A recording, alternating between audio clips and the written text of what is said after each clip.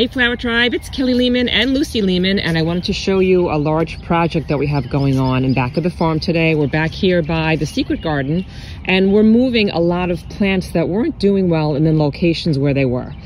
If we haven't met yet, it's nice to meet you. My name is Kelly Lehman. I'm the owner of Cranbury Fields Flower Farm here in Cranbury, New Jersey.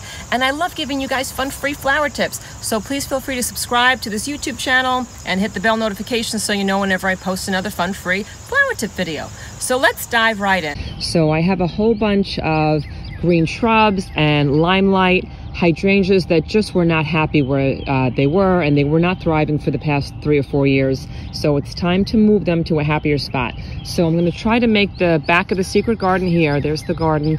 I'm going to try to make this like a like a, a whole new, almost like a meadow because we started to put some azaleas back there. Those are one of the plants that were not happy. And azaleas like being planted in partial shade and they like acidic soil. And so I've got a lot of pine trees uh, back here and so there's a lot of, um, hopefully, like acid in the soil, and it's got the shade that will be casted, like dappled shade from these trees. So I think they're gonna be much happier in this new location. So that's one thing that we did.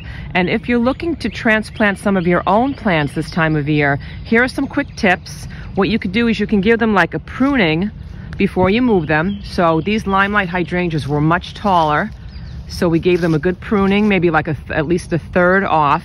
And then we make, made sure that we dug the root balls really large. You wanna make sure that you can leave as much of the root intact as you can because that's gonna help the plant to thrive. So you can even see with these, um, these spirea, like look how large that root ball is. So try to get as much as the root as you can, leave the soil in place because if you start like getting rid of the soil, even though it's going to make the plant easier to move because you're going to make it lighter, chances are you're going to wind up damaging the root system. So leave that soil in place and make sure that you plant, um, when you're transplanting them, you put them in a spot where the plants are going to thrive.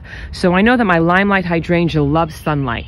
So I'm making sure that I put them in a much sunnier spot and I'm, we're going to dig the holes that these plants are going in twice the size of the root ball. So you can imagine the size hole that this guy is going to be in. So it's going to be double the size.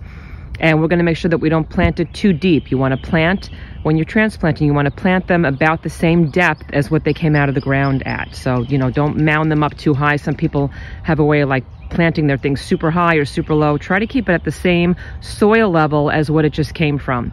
And then you can add uh, lots of organic compost to uh, the hole, mix it in with the dirt and uh, you can even add a little fertilizer when you're done but uh, the compost is real important because that kind of helps that soil get super healthy it kind of churns it up helps all the worms get in there and do their thing. And um, it just it really seems to help the plants a lot. And make sure that you water it's super important that you water your transplanted uh, items because they really need that now. They need to get established that you know they're, they're not happy they're kind of like wait why am I being uprooted? So you want to make sure that they have enough water and compost and some extra love so this is what the yard looks like now. I'm gonna give you uh, a look at what it looks like when it's all done. Hey, Luce, I'm gonna kind of walk around you, dog. So this is like just another ilex shrub that I do love, but it wasn't doing well. And so there's a ton of them. We have a whole bunch. I swear I wind up moving my plants like some people move furniture. So, but it's okay. They usually do pretty well.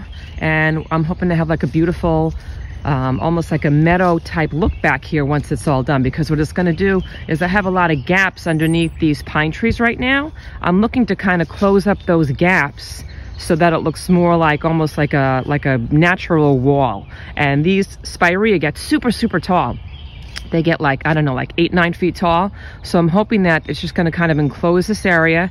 And then I'm hoping that these limelight hydrangeas, even though they look like little stickly scarecrows now, I'm hoping that they're gonna be magnificent with giant, giant, giant white fluffy blooms uh, by the end of summer. So I'm hoping this whole yard is gonna look completely different by the time we're done with it and by the time the end of summer comes. But I'll, I'll keep you guys posted. And uh, okay, so that's what's going on at Cranbury Fields Flower Farm today. I made a free download PDF file for you that lets you know four of my must-have flowers for your gardens, and you can grab that in descriptions below. And we also have an Instagram channel uh, under Cranbury Fields. Come check us check us out over there, say hi. And we do a lot of giveaways. We do a lot of like sunflower seed giveaways and zinnia seed giveaways from our flower farm because we grow thousands of flowers here on our New Jersey flower farm. So check us out on, uh, like I said, our Instagram and come say hi to us over on our Patreon page in case you're interested in becoming a supporter of this channel.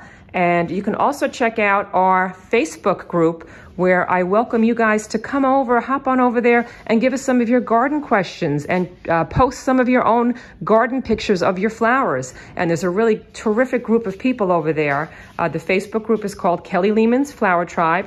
And we swap a ton of garden tips and flower tips. And we put in like some of our garden challenges and some garden suggestions. So it's a really super community. So check that out. I'll put links to all these channels in descriptions below. And I will see you guys in the next video. If we haven't yet met, am I saying? Oh my Lord.